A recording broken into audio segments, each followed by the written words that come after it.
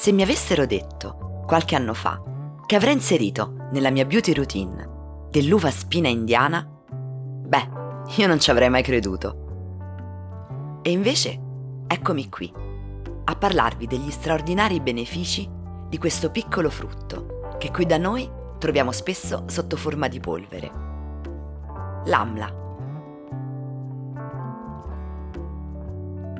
Voglio mostrarvi come realizzo con l'amla una pozione, semplicissima, ma non per questo meno magica, che utilizzo sia per il viso che per i capelli.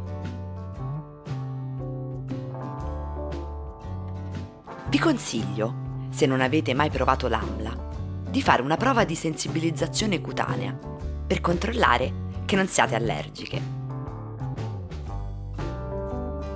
Servono, oltre a un po' di fiori, che mettono sempre di buon umore, una ciotolina in ceramica, un cucchiaio di legno, acqua calda ma non bollente, polvere di amla.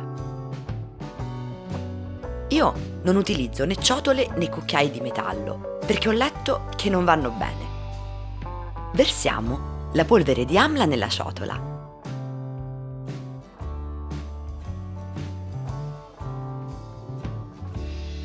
E aggiungiamo l'acqua calda piano piano fino a raggiungere una consistenza cremosa. Attenzione a non fare un composto troppo liquido, che poi cola dappertutto. Io, per non fare pasticci, tendo a fare un composto abbastanza denso. Per la quantità di amla da usare, questa varia a seconda che facciate un impacco per il viso, una maschera per i capelli o anche in base alla lunghezza dei vostri capelli stessi. Voi, se volete, potete sbizzarrirvi e lasciare scatenare la vostra fantasia. Potete aggiungere a questo composto i più svariati ingredienti. In internet ci sono tante ricette bellissime da sperimentare, a seconda delle vostre esigenze. C'è chi aggiunge yogurt, olio di germe di grano, gel d'aloe, burro di karité, olio d'oliva, limone e tanti altri ingredienti. Io ho scelto, aggiungendo solo acqua, di utilizzare la ricetta più semplice, ma non per questo meno efficace. Copro la ciotola e lascio riposare il composto una mezz'ora o un'ora Passato questo tempo, il composto è pronto. Ha un odore fangoso, un odore che ricorda la terra bagnata dopo un'abbondante pioggia, un odore che ho imparato ad amare col tempo.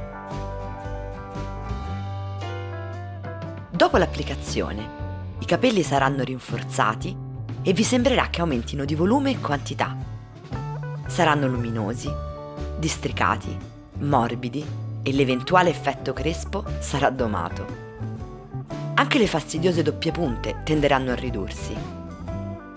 E niente più perdita di capelli. So che può essere molto utile anche per chi ha problemi di forfora e per regolare la produzione di sebo. Due avvertimenti. L'amla tende a seccare i capelli e a scurire quelli chiari e posso testimoniare che entrambe queste affermazioni sono vere.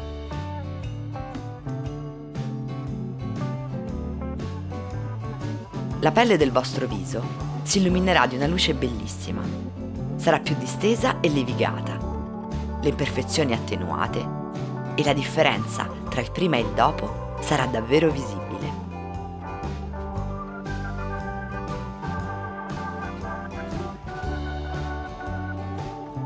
Vi lascio in descrizione la procedura che uso, passo per passo, per l'applicazione sia della maschera sia dell'impacco.